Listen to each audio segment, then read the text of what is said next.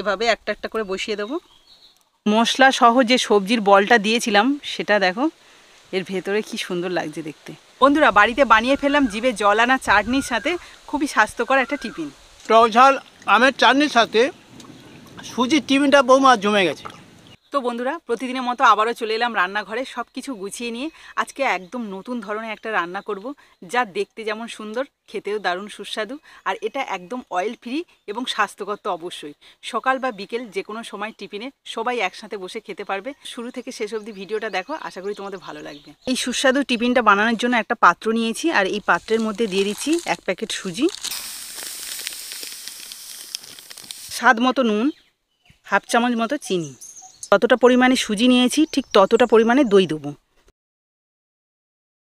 আর এই টক দইটা কিন্তু আমি বাড়িতে নিজে পেতেছি। কি সুন্দর হয়েছে না? এবার আমি যতটা পরিমাণে টক দই আর সুজি নিয়েছি, ঠিক ততটা পরিমাণে দিয়ে দেবো জল। এবার হাত দিয়ে ভালো করে মাখিয়ে নেব। এটা দেখে অনেকেরই মনে হতে পারে ইডলি, কিন্তু ইডলি নয়, এটা ইডলি থেকে আরও বেশি স্বাদ হবে আর দেখতেও বেশি সুন্দর হবে। তো দেখো, এই ব্যাটারটা রেডি হয়ে গেছে। এটাকে এবার সাইডে রেখে এখানে দেখো, তিনটে সিদ্ধ করে রাখা আলু নিয়েছি, আর এই আলুগুলো গ্রেটারে গ্রেট করে নেব। দেখো, আলুগুলো সিদ্ধ করা তবুও কিন্তু ভেঙে যায়নি, কারণ একটু শক্ত রেখেই সিদ্ধ করেছি, তাতে গ্রেটারে গ্রেট করতে সুবিধা হবে।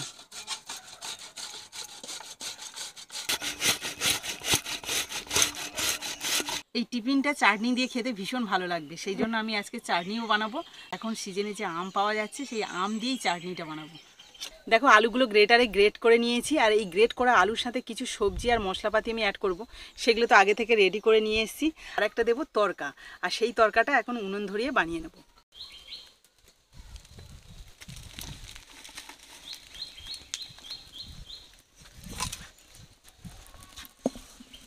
কড়া গরম হয়ে গেছে, এবার কড়ার মধ্যে দিয়ে দিচ্ছি সাদা তেল। তেলের মধ্যে দিয়ে দিচ্ছি সর্ষে আর সাদা জিরে। কয়েকটা রসুন কুচি। হালকা করে রসুনগুলো ভেজে নিয়েছি, এবার দিয়ে দিচ্ছি কয়েকটা কারি পাতা।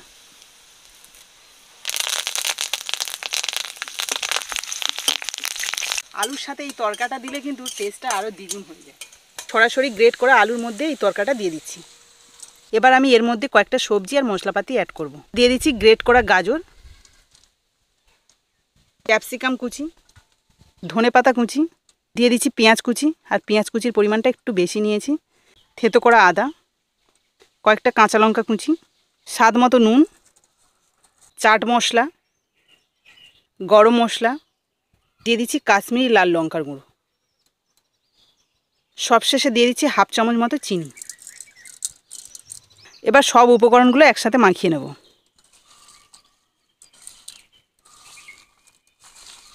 এই সমস্ত সবজি আর মশলাপাতি যে একসাথে নিয়ে হাত দিয়ে মাখছি তার বদলে তোমরা কড়াইতে কিন্তু ফ্রাই করে নিতে পারো। তার টেস্টও আবার আলাদা রকমের হবে। সব কিছু ভালো করে মাখিয়ে নিয়েছি। এবার দু হাতের সাহায্যে বল বল করে সেপ দিয়ে নেব।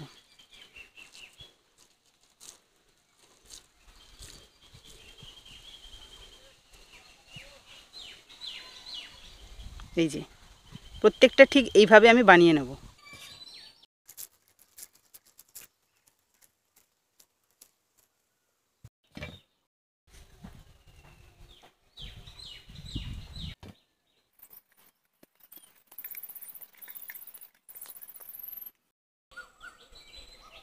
দেখো, বলগুলো রেডি করে নিয়েছি। এবার সুজির ব্যাটারটা যে পাত্রে আমি দেব, সেই পাত্র একটা নিয়ে নিয়েছি, ছিদ্রযুক্ত, এই দেখো। ছিদ্রযুক্ত পাত্র নিয়েছি। আর এই ছিদ্রযুক্ত পাত্রের ওপরে কলা পাতা দেবো। সেই জন্য কলা পাতাটা দেখো, খুব সুন্দর করে কেটে নিয়েছি। ভালো লাগছে না দেখতে? তো এর ওপরে একটু তেল মাখিয়ে নেব।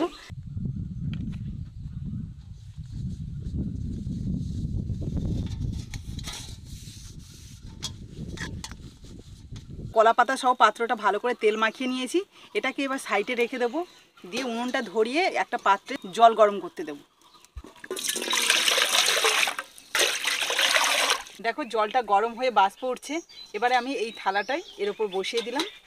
এবার দেখো, যে বেটারটা আমি আগে থেকে রেডি করে রেখেছিলাম সুজির, সেটা কতটা ফুলে উঠেছে দেখো, আর শক্ত হয়ে গেছে। এর মধ্যে আরেকটু জল দেবো।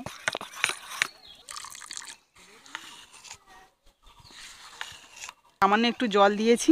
ভালো করে জলটা মাখিয়ে নেওয়ার পর এক পাতা ইনো দিয়ে দেবো। এখানে আমি কলা ফ্লেভারে ইনো নিয়েছি। তোমরা যে কোনো ইনো নিতে পারো, কোনো অসুবিধা নেই। এবার এক পাতা দিয়ে দেবো।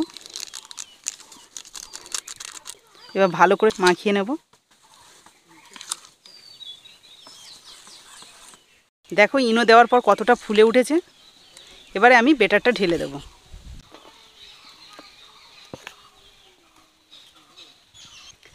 দেখো অর্ধেকটা বেটার দিয়েছি। এবার যে বলগুলো বানিয়ে রেখেছি, সেই বলগুলো এখন দিয়ে দেবো। এভাবে একটা একটা করে বসিয়ে দেবো।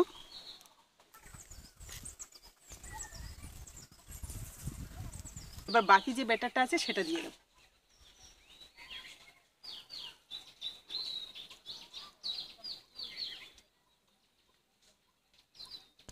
বেটারটা দিয়ে কিন্তু এই বলগুলোকে পুরো চাপা দিতে হবে।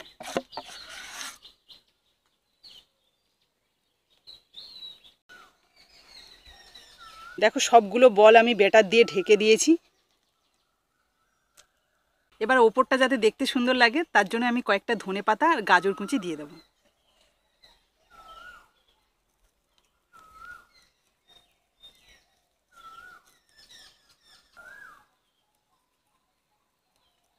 ক্যাপসিকাম কুচিও আছে, দিয়ে দিচ্ছি। এবার ঢাকা দিয়ে কুড়ি মিনিট মতো ভাপিয়ে নেব। তো ওদিকে ভাপাতে দিয়েছি আর এদিকে চাটনিটাও আমি রেডি করব। তার জন্য দেখো কাঁচা পাকা আম। এই আমটা খুব মিষ্টিও নয়, আবার টকও নয়। তো এই আমের চাটনি করব, ভীষণ ভালো লাগবে। তার সাথে দেখো কয়েকটা কাঁচা লঙ্কাও নিয়ে নিয়েছি। একদম মিক্সি জারে সরাসরি আমি নিয়ে নেব। দিয়ে দিচ্ছি কেটে রাখা আম। কয়েকটা কাঁচা লঙ্কা, কিছুটা টক দই। এখানে টক দই দিয়েছি, আবার আমটা কিন্তু মিষ্টি নয়। সেই জন্য আমি এখানে দু চামচ মতো চিনি দিয়ে দেবো। যাতে টক মিষ্টি ঝাল তিনটেই থাকে। সামান্য একটু আদা কুচি আর দিয়ে দিচ্ছি বিট নুন। সবগুলো একসাথে পেস্ট করে নেব।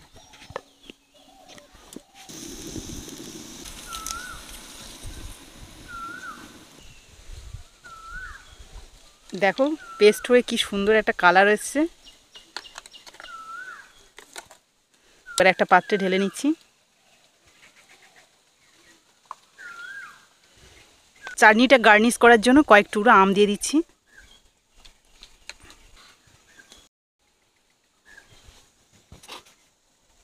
কুড়ি মিনিট হয়ে গেছে, উনুনও নিভিয়ে দিয়েছি। এবার খুলে দেখব কেমন হয়েছে। এই দেখো, সুন্দরভাবে রেডি হয়ে গেছে।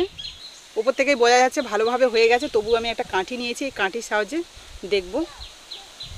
এই দেখ, একটুও কাঁঠির গায়ে জড়েনি মানে ভালোভাবে রেডি হয়ে গেছে। এবার নামিয়ে নেব।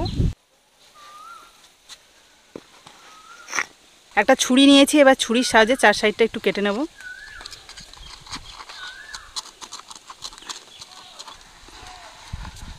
এবার দেখো একটা থালা নিয়েছি, ওপর থেকে দিয়ে এইভাবে উল্টে নেব। কলা পাতাটা কি সুন্দর হয়েছে। দারুণ দেখতে লাগছে কিন্তু। এবার কলা পাতাটা ওপর থেকে তুলে নেব। ও, এই যে কলা পাতাটা দেওয়া ছিল, এতে কিন্তু এর স্বাদটাই আরও অন্যরকম হয়ে যাবে। কারণ কলা পাতার মধ্যে যা কিছু ভাপাবে, তার স্বাদ অন্য ধরনের। তো কলা পাতাটা এবার সাইড করে দিলাম। সুন্দর স্পঞ্জি হয়েছে। শুধু কেটে তোমাদের একবার দেখাই।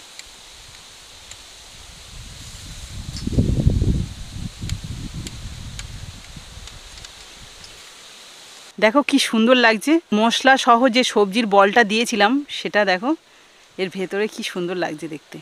আর ওপরটা একদম স্পঞ্জি। এই দেখো। তো বন্ধুরা, চাটনিটাও রেডি আর এদিকে স্বাস্থ্যকর টিফিনটাও রেডি হয়ে গেছে। তো এবার সবাই মিলে একসাথে খেয়ে বলব কোনটা কেমন হয়েছে। তো বাবার কুটুস চলে এসছে। বাবা খেয়ে বলবে কেমন হয়েছে। ধরো। কুটুস তোমাকে আমি দিই? তা দেখে তো জিভে জল এসে গেল। ও খাবারের নামটা বলবে? কি খাবার? রেসিপি তৈরি করেছ? এটা আমি নিজের থেকে তৈরি করেছি সেই জন্য আচ্ছা। এর কোনো নাম নেই। তুমি খেয়ে বলো কি ধরনের নাম দেওয়া যেতে পারে। ঠিক আছে।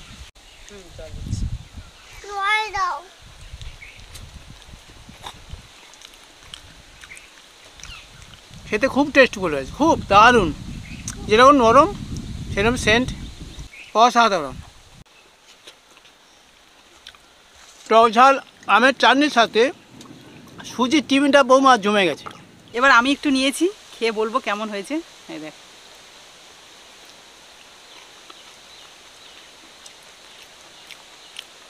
দারুণ লাগছে।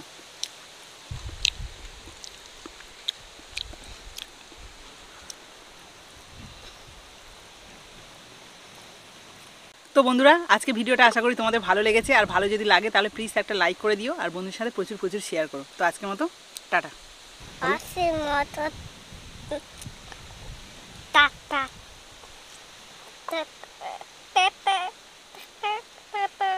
আর টাটা দিতে হবে।